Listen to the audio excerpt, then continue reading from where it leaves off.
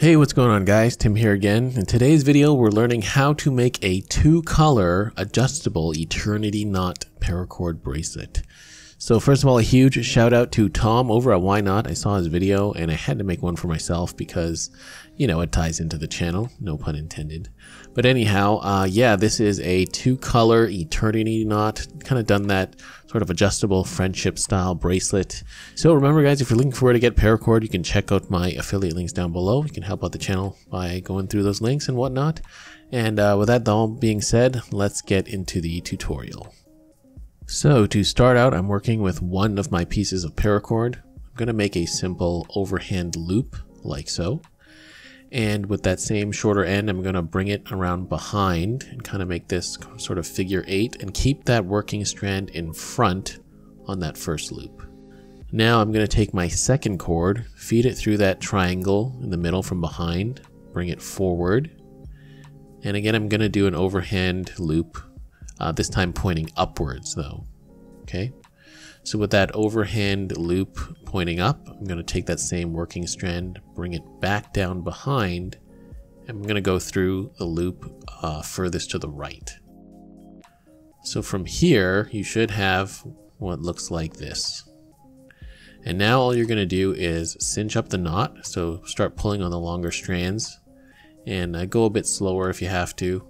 And if you have some excess cord, you can uh, work that out at the end. But uh, I'm just going to start firming up this knot and uh, try to keep it nice and flat and work out all the excess.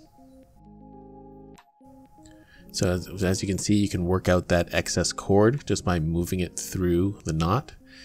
And um, you can just leave a little bit on um, of the excess there because we're going to clip that off and you know snip and melt it. So again, just keep working that knot till it's nice and firm and it looks like the eternity knot, like so. Next, we're going to take our scissors and just clip off the excess cord. These cords are running out the back of the knot. And of course, don't clip it too short. You want to be careful. You want to melt that cord just so it's nice and melted and then press it down with um, smoothing tool or your knotter's tool, whatever you have. And do that for both excess cords.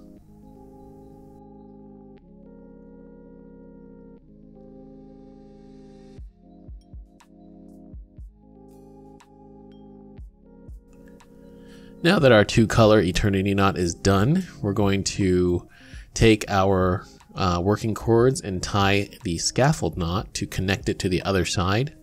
So I've got it lined up with my red cord.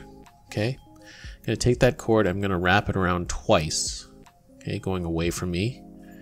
And I like to form that little X there where the two cords cross over. And then I'm gonna put that working end underneath both of those uh, crossed over cords and then you just pull that shut. And that is one side done already.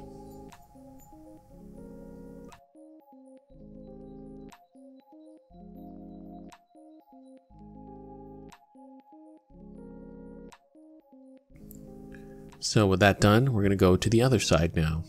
And you may have to adjust the um, length of these cords or the amount of um, yeah length in between them just for the bracelet size but you're going to do the exact same thing on the other side. So I got my red next to my orange. I'm going to wrap it around twice again forming that crossover X okay? And then of course you're going to wrap it underneath or sorry put the cord underneath both those crossed over cords. So super simple on this one. You're going to cinch up that second scaffold knot.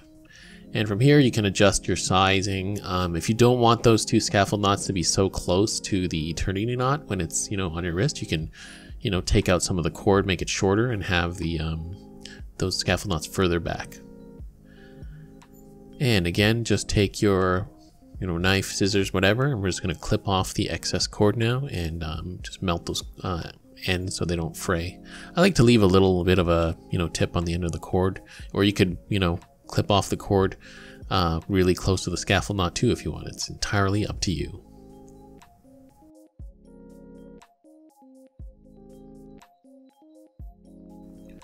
All right, and there we have it. We are done. The two color eternity knot Looks great, nice and simple, and I think a lot of you will enjoy making one or several of these for you or your friends. Alright, so here's a quick shot of it on the wrist. And while I'm struggling to get it on, a huge thank you again, as always, to my Patreon supporters. Uh, you know, you guys are making a huge difference for me on that platform. So, uh, guys, if you want access to the exclusive tutorials of the month and also the giveaways, feel free to check out my Patreon page. Link is in the video as well as down below. All right. So guys, thank you so much for watching. Again, huge shout out to Why Knot. Uh, awesome tutorial on his channel. I'll link his channel down below as of course. And I hope you guys enjoyed this video. So the two color et eternity knot, hope you guys make it for yourself. See you on the next video. Bye.